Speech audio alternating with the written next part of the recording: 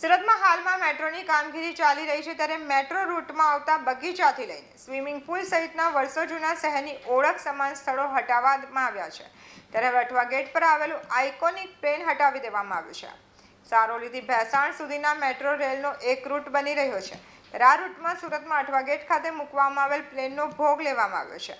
જ્યારે સુરતમાં એરપોર્ટ એટલું કાર્યરત ન હતું ત્યારે સુરતીઓની અપેક્ષા સમાન આ પ્લેનને આશરે બાવીસ વર્ષ પહેલાં સહ પબ્લિસિટી દ્વારા મૂકવામાં આવ્યો હતો જેથી અઠવા ગેટ પ્લેનવાળા સર્કલથી ઓળખાવા લાગ્યો.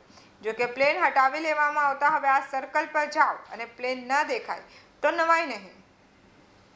મારું નામ યશવંતભાઈ શાહ શાહ પબ્લિસિટીનો ઓનર છું. જે અઠવા ગેટ ઉપર જે પ્લેન હતું એ ક્યારથી મુકાયેલું ને તમને કેવી રીતે વિચાર આવે છે? હું અમેરિકા ગયો હતો. અમેરિકામાં મેં જોયું કે પ્લેન રમકડાની જેમ જે ઇલેક્ટ જે બોમ્બે માટે ટ્રેન ચાલે છે, ઇલેક્ટ્રિક ટ્રેન, તે પ્રમાણે ત્યાં પ્લેનો ત્યાં ટ્રેનો ચાલતા, એ પ્રમાણે ત્યાં પ્લેનો ચાલતા હતા.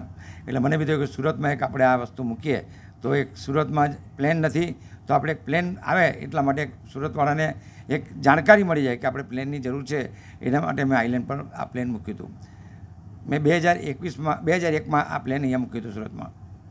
જે અત્યારે પાલિકા દ્વારા હટાવવામાં આવી રહ્યું છે, તમને યોગ્ય લાગે છે કે કઈ રીતનું છે? સુરત મહાનગરપાલિકાની જગ્યા છે, એમને એ જગ્યાના માલિક છે. અમે એમના ખૂબ આભારી છે કે આટલા વર્ષો લઈને અમારું પ્લેન આ જગ્યા પર રાખ્યું. અમને એનો એમનો સંતોષ છે. પરંતુ આ જગ્યા સુરતનું એક લેન્ડમાર્ક બની ચૂકી છે.